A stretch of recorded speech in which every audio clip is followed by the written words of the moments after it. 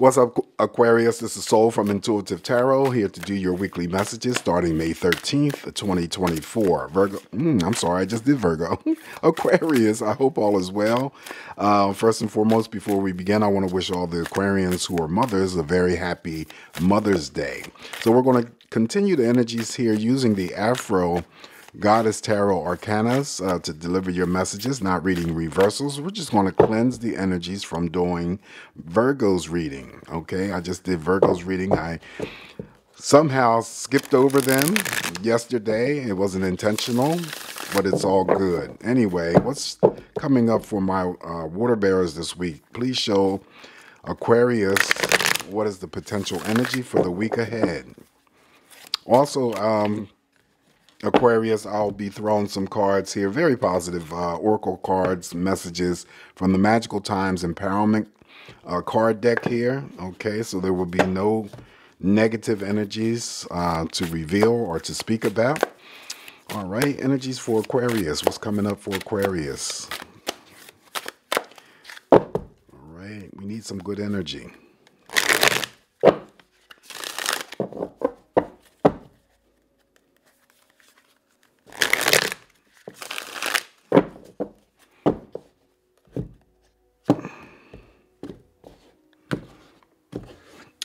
Right, here we go, Aquarius. Your first message. We're going to open. Well, there we go. We got the Two of Cups.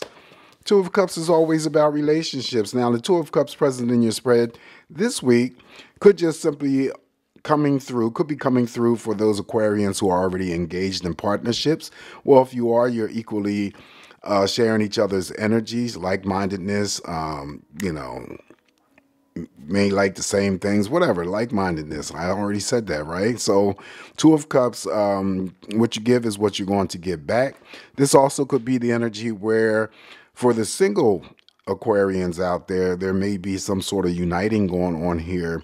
Um, you know, friendship leading into romance. Uh, this is the Two of Cups. Could be invite, yeah, inviting, invitations. Could be first dates. All right. That is the Two of Cups. It's all about that romance, love, partnerships. Up next now we have, I'm not reading reversals, Five of Wands. Five of Wands here for you. Um, Aquarius simply means, I always say it's the projection of energy that may come on to you, and it follows the relationship card. So, you know, even if you're involved in a partnership, don't waste your time getting into petty arguments, squabbles. It's not worth your time or energy because normally it is what is going on with them and got nothing to do with you. They're just trying to draw you into that energy. Um, if it is not that having to deal with petty fights or arguments with, um, you know, romantic partners, it could be friends, family members, then don't, you know, get yourself involved. Don't add fuel to the fire. It could be just you're feeling a little bit restless this week and that too shall pass. Always temporary energies with the fives, no matter what element shows up. Next up, we have the Three of Pentacles here, and this is the card of uh, collaborating, uh, being recognized for some energy that you may have put into a situation that could involve your actual work, and then, you know, you're recognized through a small pay raise. It could be that you worked on something outside of work and you completed that project. Now it's time for you to uh, either congratulate yourself, reward yourself, or it could be coming in from others in terms of a job well done, thank you so much, and so forth. This is also to workplace attraction. And also, you may be, it does mirror over to the um, Two of Cups, you may be introduced to somebody new. Whether or not that introduction to somebody new is linked with um, potential romance or not, it doesn't really matter. There is someone that is going to be introduced to you. Now, this could be also in the workplace environment. Um, maybe you know you meet somebody who um, introduces you to someone who works in a different department, and it could be that energy as well. Following the three, uh, three of Pentacles here, uh, because the energies will be posted by Monday. I always say that Wednesday, uh, there could be that introduction to somebody new, or it could be. Um, you know, that uh, thank you, pat on the back, job well done type of energy coming your way. Some sort of recognition coming your way for something that you've done. Following that is the um, Two of Pentacles. In this case, you're juggling two things, all right? Trying to balance something out. It's on a minor scale. Some of you could be just, you know, working two jobs. Um, be interested in two people. You know, two people may be interested in you. Some of you may be just trying to balance your checkbook. It's that simple. Up next, after the Two of Pentacles, now we have the Goddess of Cups. Okay, this is the Queen of Cups. She mirrors over there to the Two of Cups. We were just talking about relationships. So, of course, she's all about that relationships. But then again, the Goddess of Cups or the Goddess, yeah, the Goddess of Cups, the God of Cups, they all represent, as well as the Nine of Cups, achieving some sort of emotional happiness, Aquarius, satisfaction, fulfillment, and contentment based on those relationships that you are currently having some sort of exchange with, or it could be that um, potential fulfillment, achievement, uh, satisfaction, emotional satisfaction, contentment for future. Okay, relationships. Now, this is an open and general reading, so we're not just talking about love and romance. We're talking about this energy could be expressed through family, through platonic friends, and so forth. But most importantly, pay attention to your intuition. She is here to help you in terms of any actions or decisions that you may go through this week so that you're picking and choosing the right thing for you moving forward. She's a nurturer. She's a caretaker. All right. I also associate the uh, Queen of Cups specifically with those people who work in the industry of taking care of others. Following the Queen of Cups here for you, Aquarius, now we have the God of Wands, which is it's the King of Wands. So under the relationship card, so you know some of you may be dealing with fire signs or in relationships with fire signs, Aries, Leo, Sagittarius, or have an interest in them. Okay, now they could also be in your family, but the um, King of Wands comes through because you're drawing in or attracting in some strong energy. It's either moving towards you or it's you're moving towards it. The King of Wands is always focused on something or someone, as I always say, and they normally go after whatever it is that they're focused on. This is a card that represents a great deal of intensity, definitely passion, and when it comes to love and romance, sexual energy and sexual expression. Also, for the Aquarians out there who may be artistic, it could be that the king is coming through to give you that burst and that surge of energy when it comes to your, you know, your creative pursuits. Following the King of Wands, now we have the Five of Cups. Okay, a little contradictory energy here. Sadness and disappointment. Again, it's underneath another five, so they're temporary. Sometimes we just go through mood swings and no reason, no rhyme or reason why we feel the way that we do. It's just that I always say it could be just a small chemical imbalance, and our brain is just trying to make that shift and it's temporary. No sense of crying over spilled milk, but then again, it may not be something that's personally going to uh, you know affect you or impact you. This could be your child. This could be your romantic partner. This could definitely be a friend a co-worker okay? But whatever this five of cups may mean for you just note that it is temporary and will not stick around too long then we have the Four of Swords. The Four of Swords is rest, relaxation, rejuvenation. For some of you, taking or planning future trips uh, detaching your energies from your work, taking a day off just to, you know, regroup, Aquarius. Um, reclaiming your independence and your happiness. Just do something uh, just for yourself to make you happy. The things that you do that doesn't uh, require you to do uh, some, you know, some things with others that leads to happiness. You have to be happy on your own.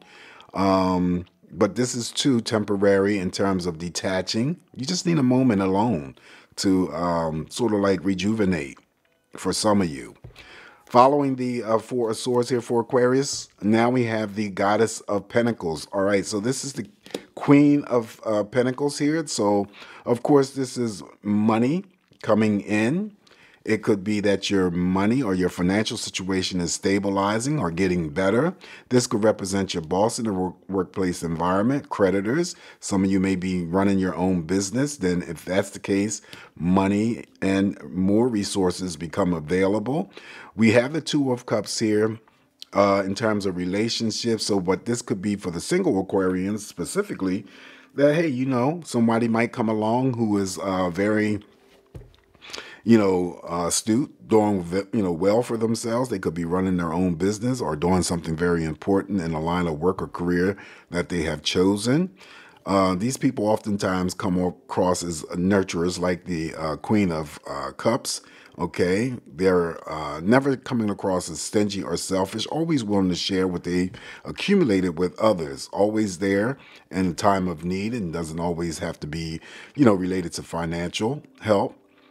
Okay. So it's a good week to ask boss, yeah, bosses and creditors for favors. Last card I have for you, Aquarius, is the happiness card. We finish off pretty good. It counter crosses over here to the two of cups.